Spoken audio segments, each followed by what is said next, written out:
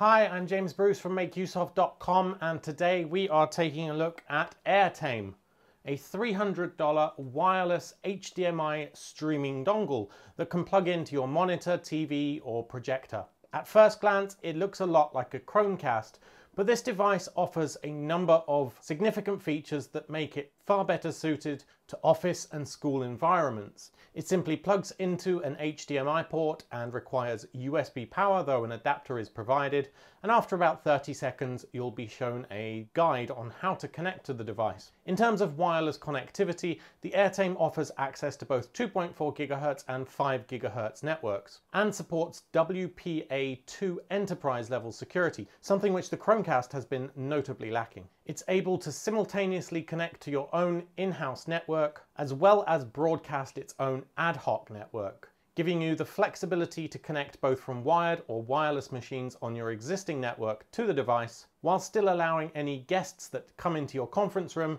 to connect straight to the ad hoc network. If Wi-Fi isn't your thing, you can always buy a $25 Ethernet adapter as well. AirTame is cross-platform compatible with both Mac Linux and Windows, though you do need to download a small bit of software. Once you've done that, it's a simple single click to broadcast your screen with true screen mirroring to one or more airtames. The airtame works by capturing your screen at a high frequency, compressing those images and then sending it. And while audio support is there, I wouldn't suggest using it for movie or video streaming because it will introduce some artifacts into the videos. It's really more suited to slideshows and presentations. In terms of mobile support, while they do offer an iOS and Android app, this hasn't been the priority of their development and consequently they are quite limited in functionality. You can transmit images or PDF documents. However, if you have a presentation saved to a PDF document, once you load up the document, you'll be able to see both the current slide, the next slide, and a timer so you can keep up with your pace. Now this is incredibly powerful if you're a traveling salesman or entrepreneur who needs to give their presentation but wants to travel light. Carrying only your mobile device and the AirTame dongle, you can give that presentation literally anywhere. Currently, neither of the mobile apps supports true device mirroring like AirPlay. However, it's possible this will be added in a future update. AirTame also offer a range of configuration options for what to display on the screen when you aren't actually streaming to it. Now this can either be a static image such as a corporate logo or you can load a URL that's available on the internet, which makes it perfect for digital signage applications or displaying dashboards with key performance indicators. To test this out, I used a free site called thedash.com and made this simple little dashboard with a current visitor count, latest BBC News articles and a Twitter stream. You can also enable or disable this connection overlay here, which gives you helpful information on how to connect to the device.